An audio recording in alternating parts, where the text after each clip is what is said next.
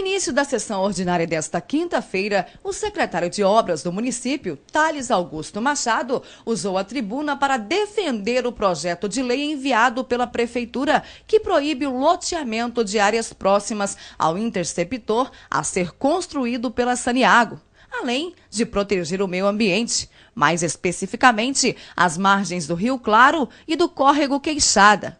Mais tarde, a matéria foi aprovada por unanimidade. O interceptor queixada que vai ser construído, ele, a, a, a, locação dele é definida em função da topografia, em função da declividade que leva na estação de tratamento de esgoto já existente.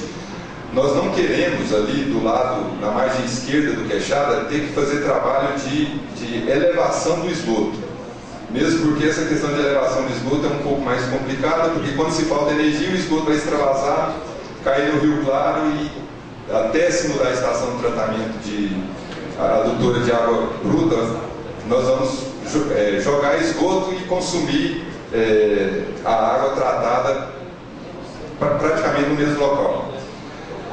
Bom, a, a necessidade de se voltar a isso nesse momento é em função de várias é, especulações de novos empreendimentos naquela região, que eles estão dando entrada, que podem dar entrada a qualquer momento, e está aproveitando a legislação existente, ou seja, é garantia da entrada hoje no projeto de, de loteamento e ter a garantia de poder lotear abaixo do interceptor queixada. Então esse projeto, além de estar limitando também a, a, a APP do, do Cor Queixada, tem avenida também limitando o interceptor queixado, ou seja, essa avenida será é, passada em cima do interceptor queixado, além de proteger, proteger também o interceptor. Então todo o, o, vamos dizer assim, o ramal tronco, que nós chamamos de interceptor de esgoto, ficaria nessa avenida.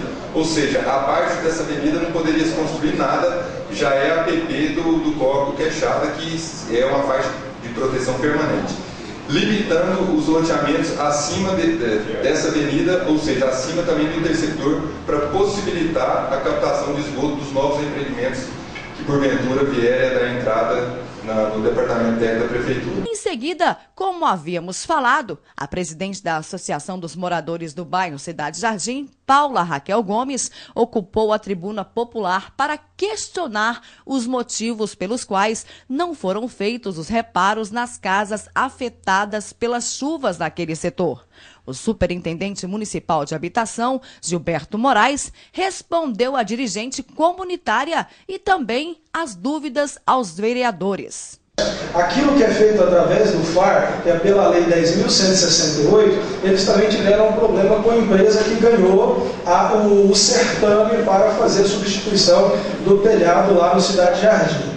Então tudo isso ele é resguardado em lei federal, desses loteamentos do programa Minha Casa Minha Vida, e agora eles estão no processo de chamamento da segunda colocada para que possa então a assinatura do contrato ser feita para essa reposição. O que lamentavelmente sofre com isso são infelizmente os moradores que, numa forma paliativa, nós fizemos a disponibilização daquele lonamento para eles, justamente para essas determinadas prevenções. Só que o definitivo só virá a partir do momento da concretização desse contrato com essa segunda empresa ganhadora, então, desse certame para é, conserto dos telhados ali do Cidade Jardim, efetuado pela Caixa Econômica Federal. Nosso objetivo da associação é ter soluções, pois as casas que foram danificada estão sem condições de uso, pois quando chove entra água pelo estoque da casa e estamos correndo risco sim de choque dos telhados, porque toda vez que há uma ventania no residencial Cidade Jardim, muitas telhas continuam a cair, pois estão todas soltas.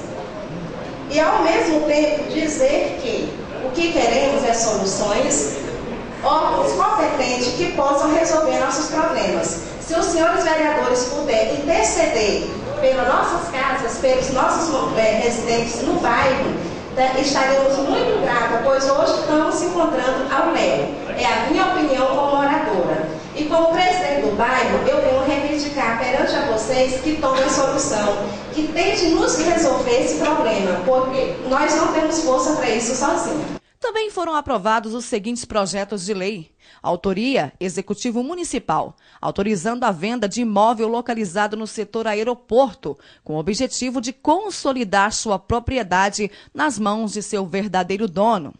Autoria: Executivo Municipal, autorizando a Prefeitura a conceder ajuda humanitária de tratamento de saúde.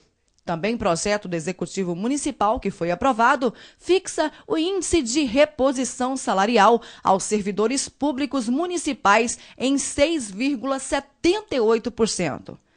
Também o projeto do vereador Gildenício Santos, que altera a lei que institui em Jataí a Marcha para Jesus. Assim, o evento acontecerá no último sábado do mês de maio, com exceção dos anos em que houver coincidência com o aniversário da cidade 31 de maio. Quando isto acontecer, a marcha será realizada no sábado anterior. Foram ainda aprovados diversos requerimentos de autoria dos vereadores. A próxima sessão ordinária está prevista para o dia 8 de abril, às 14 horas. Participem!